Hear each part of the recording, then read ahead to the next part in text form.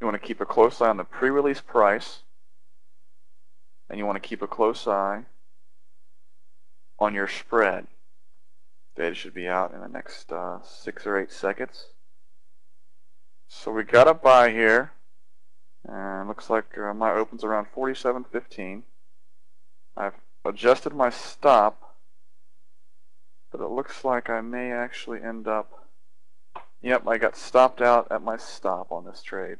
Market came back, so at this point, um, if you're still in it, just make sure you have adjusted your stop into the world's money.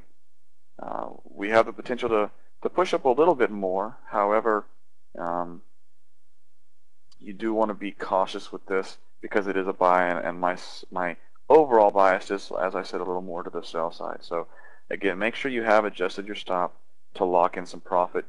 Um, we're not getting a lot of movement, so at this point you should probably close out a, a, portion of your trade at least, and we'll give it a little bit of time and see if we can get a push up.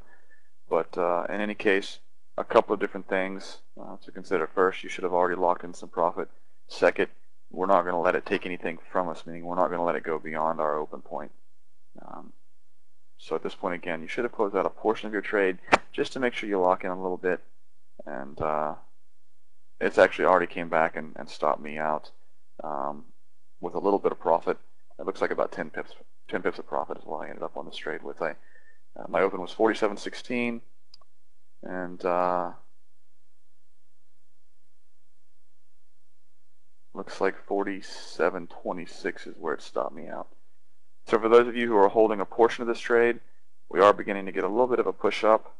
Um, if you did get a, a bad uh, entry, which I'm not seeing anyone reporting a bad entry, but if you did get a bad entry, uh, my recommendation is to go ahead and clear out. Um, made one pip on two stations and 16 on another. Good. 15 pips. Good. 12 pips on uh, four lots. Good. Uh, 15 pips, good. Break even at 14 pips on a futures demo, alright? Good.